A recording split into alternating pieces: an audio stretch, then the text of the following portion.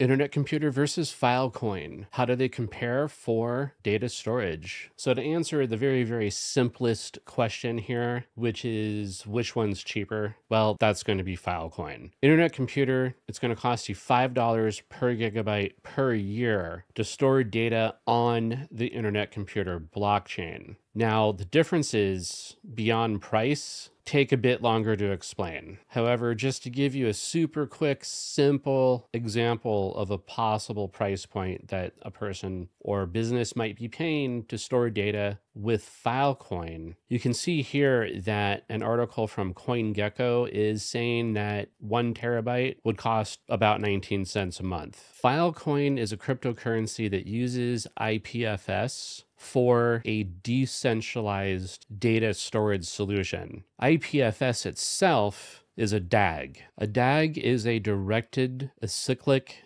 graph which is part of the overall umbrella that blockchain technology belongs to, which is DLT, DLT being distributed ledger technology. Filecoin is a cryptocurrency for data storage, which utilizes IPFS. IPFS or Interplanetary File System is a internet protocol initially designed by Juan Benet in 2014. And they had the goal of storing data permanently, remove duplications across the network, and obtain addresses to information stored on network computers. It is now an open source project, and unlike HTTP, it is a resource, not location oriented service. Instead of communicating by pointing to locations, IPFS points to the resource itself. IPFS then gets this resource from whoever has the data or parts of the data stored, creating a decentralized network. If you're interested to read this whole article, it is available over at medium.com. IPFS uses transport encryption, but not content encryption. This means that your data is secure when being sent from one IPFS node to another. However, anyone can download and view that data if they have the CID. The lack of content encryption is an intentional decision. Instead of forcing you to use a particular encryption protocol, you are free to choose whichever method is best for your project. This modular design keeps IPFS lightweight and free of vendor lock in. And so, to be a little bit more clear, there's a difference between, say, encrypting your hard drive on your personal computer and having your connection to the internet being encrypted. So, one, having your hard drive on your computer encrypted, that would be like having content encryption. Whereas having your connection between your computer and the internet being encrypted, that would be transport encryption. IPFS is primarily for storing immutable data. However, that's obviously not going to be a solution for everybody's needs there are ways of actually storing mutable data on IPFS as well, which this article goes into further detail about, which involves building Merkle trees. One way some businesses might choose to use Filecoin would be to use an MSP, which is a managed service provider or similar business, to help them interface and, and use Filecoin.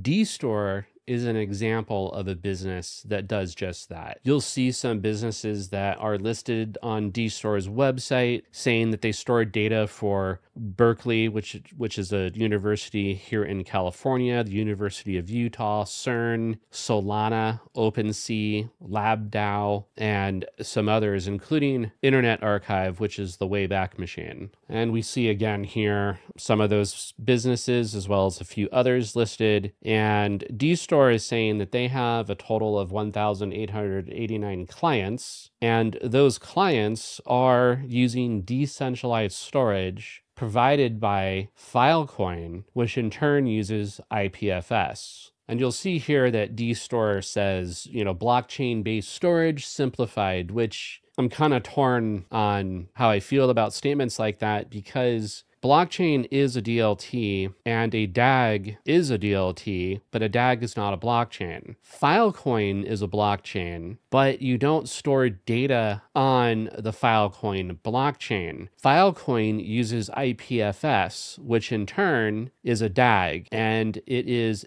decentralized storage. But it's not a blockchain. Now, if you're wondering, you know, like what is the point of Filecoin? Why not just use IPFS? Well, IPFS itself doesn't have anything to incentivize storage providers or retrieval providers to take part because IPFS is not something, it's not a cryptocurrency. It doesn't have a coin, it doesn't have a token. So Filecoin is a blockchain with a cryptocurrency, and storage providers and retrieval providers can get paid in Filecoin, which they can then sell for fiat or trade for some other crypto or hold Filecoin if they wanted to. So Filecoin provides value to IPFS by incentivizing people to participate in the IPFS network. IPFS provides value to Filecoin by providing the means of actually facilitating the data storage. Now, although Internet Computer on blockchain data storage is more expensive, in fact, it's quite a bit more expensive at $5 per gigabyte per year, there are likely use cases where a development team may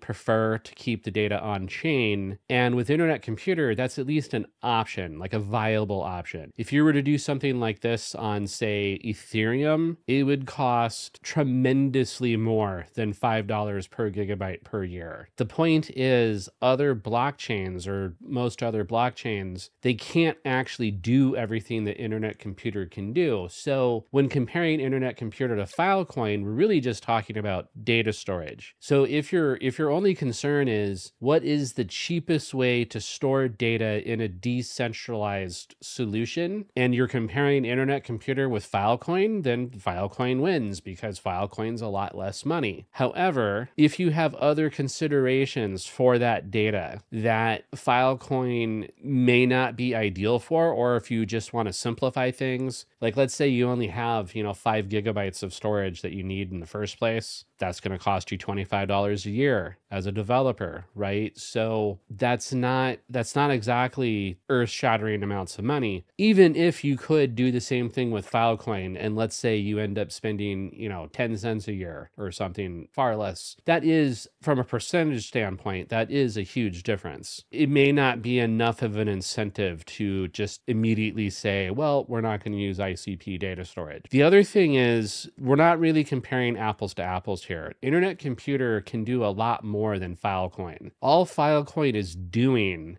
is providing tokenization to IPFS. And all that is doing is providing decentralized data storage, which is not on a blockchain. It is being tracked and incentivized by a blockchain, which is Filecoin. But the data is through IPFS, which is a DAG, and a DAG is not a blockchain. Internet Computer can do things like host a large language model, AI, 100% on chain and run it. You can't do that with Filecoin because Filecoin doesn't offer compute. So, that all said, when it comes right down to it, Filecoin's cheaper. If that's your only concern as a developer, then, well, I guess you'd probably be using Filecoin. When it comes to what crypto you should buy, it depends on what you're looking for. I think that Internet Computer and Filecoin could quite possibly have similar gains from today's prices in the 2024 2025 crypto bull run. But if you're looking for getting in early on something similar to Bitcoin or Ethereum, then you should be looking at Internet Computer.